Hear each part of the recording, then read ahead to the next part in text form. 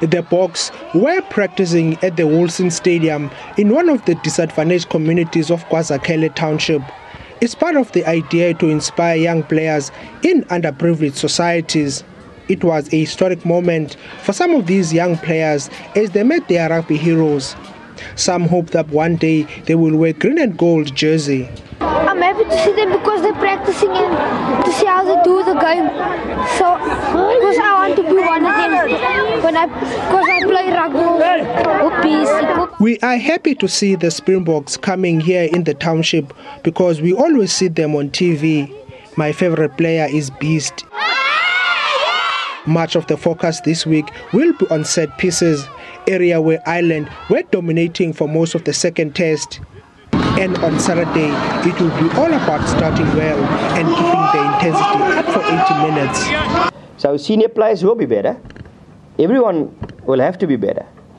And I would like us to start well. I'd like us to, from the onset, have more accuracy, have more discipline in our game. And uh, once we kept continuity and we cut out the unforced errors, we got momentum. It, you know, it was like not easy, but we it's difficult to play against us because we do ask questions on our attack now. We our set pieces are really I'm comfortable with our set piece. The bench was credited for pulling it off in Johannesburg on Saturday after staring down the barrel for most of the match. The Boks now want to win the series.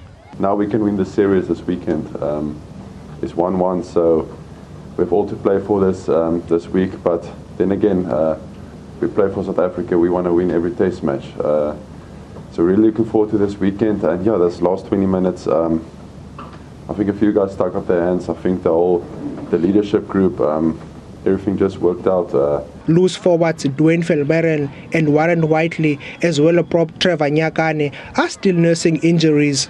Sikhumbuzo Notshe, Jaco Kriel, and Steven Kitshoff will provide cover on the bench if they don't recover in time for the match on Saturday. Zolani Moya, SABC News, Port Elizabeth.